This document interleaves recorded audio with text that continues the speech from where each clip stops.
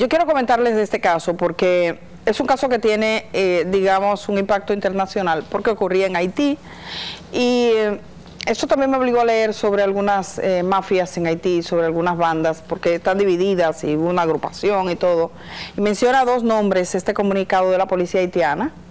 Y entonces la busqué y sí, tienen un perfil, incluso tienen cuentas de, salen en redes sus videos, salen jóvenes armados y todo, un desastre. Un desastre como, como está Haití ahora. Pero a mí me llamó la atención que entre el conglomerado de gente que ha estado arrestando la policía haitiana, presentara a este caballero que ustedes van a ir a ver ahí, que dice que es dominicano. La Policía Nacional Haitiana emitió un Twitter donde dice que ha arrestado a, a un hombre dominicano. ¿Cómo entenderlo?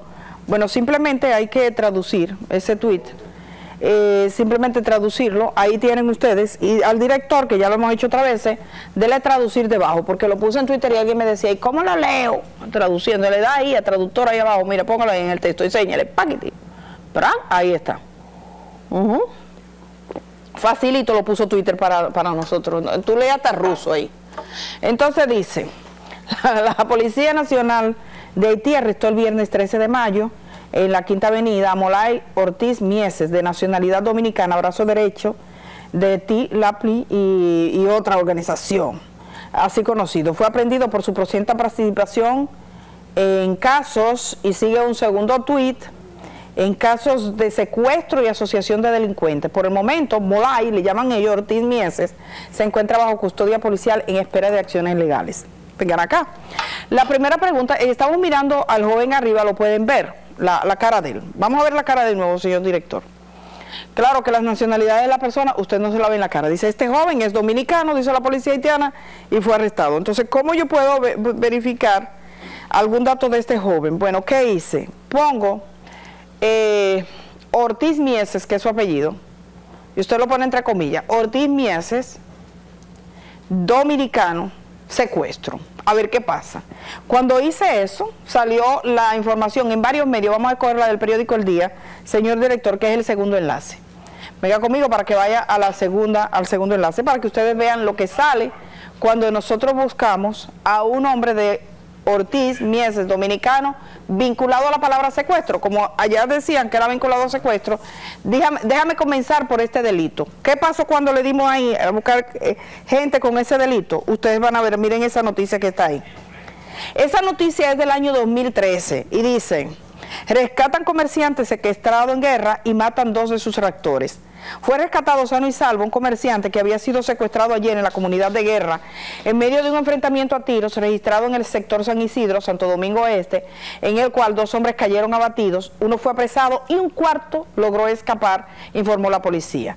Los presuntos delincuentes abatidos, y puede seguir, son José Antonio Peña Zavala, Pestañita, de 34 años, José Antonio Fabián de la Cruz, Adalberto, de 24, ambos residentes en guerra, mientras que el apresado es Ariel Alberto Jiménez Concepción, de 20 años, un jovencito, quien tendría la misión de recoger el pago por concepto de rescate. Ahora viene el punto importante, y pueden descender, señor director, le voy a decir, párrafo 1, 2 y 3.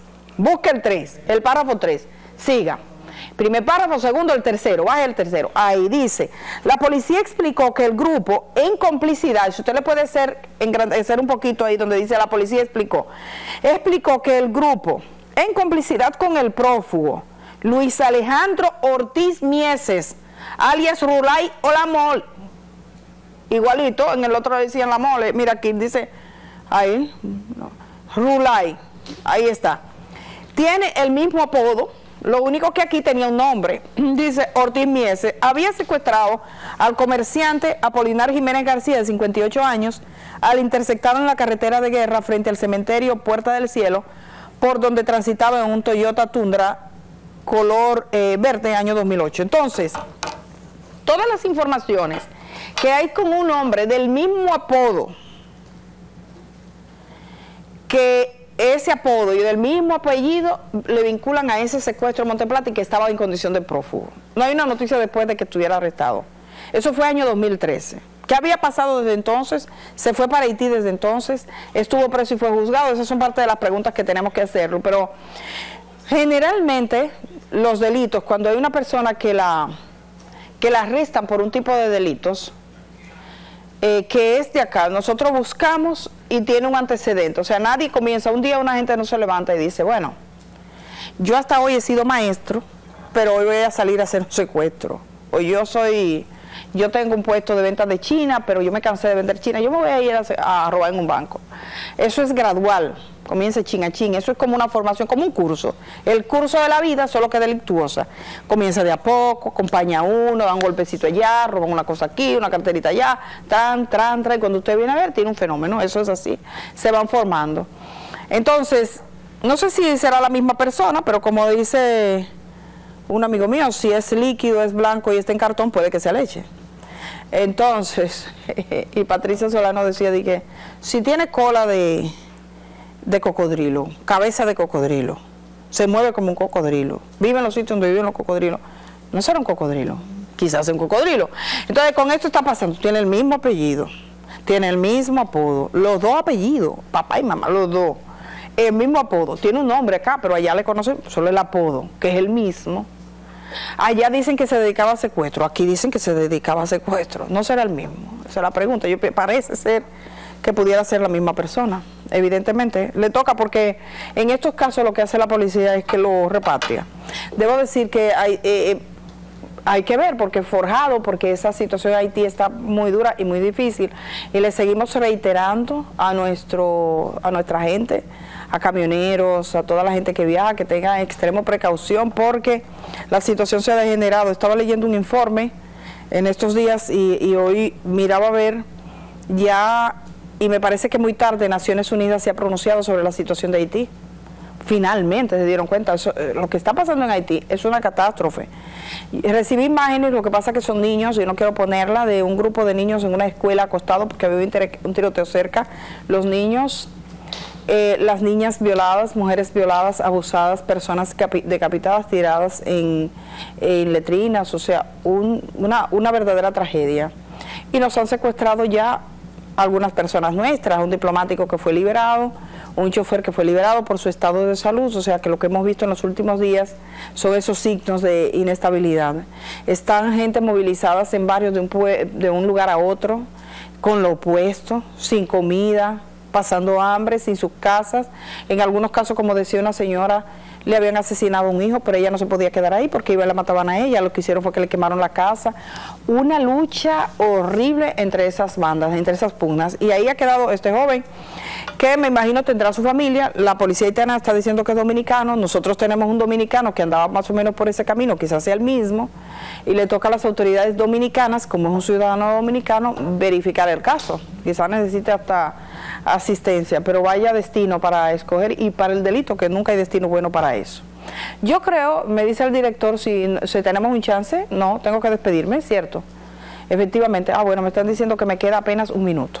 Aprovecho este minuto para decirle a ustedes, los que no hayan visto la exposición de Tobar en la Plaza España, vayan, vayan, eso es maravilloso. Yo quiero invitar, ojalá poder invitar como a todos los amigos de uno, decirle ve, convencerlo, vayan con sus familias con sus parejas, con sus hijos. Es una cosa hermosa, hermosa, en tres dimensiones, una oportunidad, porque pusieron la tecnología al servicio del arte.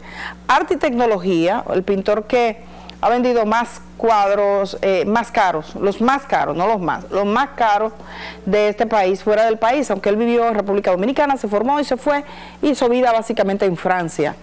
Entonces ahí están todas las obras, te salen por donde quieren, el suelo tienes que ir cómodo.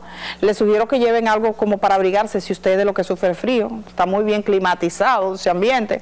Entonces si usted es de lo que sufre frío, se lleva una cosita y se pone ahí. Después hay muchísimos restaurantes y cosas que ver. Es un paseo muy agradable donde solo pagará 250 pesos los adultos. Si pasan de 65 años solo pagan 100 pero tiene que llevar la cédula para demostrar que tiene más de 65 ¿me entienden? Y a los niños, que no hay que llevar nada, eso se le pagan también 100 pesos, estudiantes. O sea, vayan, vayan, vayan, tengan la oportunidad ahora. Yo voy a verificar la fecha de término, pero todavía no se termina. Eh, el 6 de junio. Ah, el 6 de junio, eso se acaba ahorita. No, no, no, no, aprovechen ahora, vayan, está todas las horas. Pueden entrar en la mañana, en la tarde, a media tarde.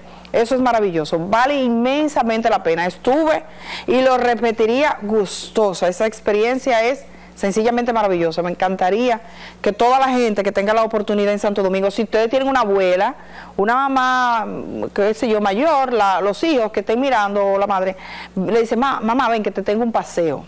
Se van ahí a la Plaza España, caminan un poquitico, van y la, se sientan con la viejita ya, ven su exposición, es maravilloso. Les va a gustar.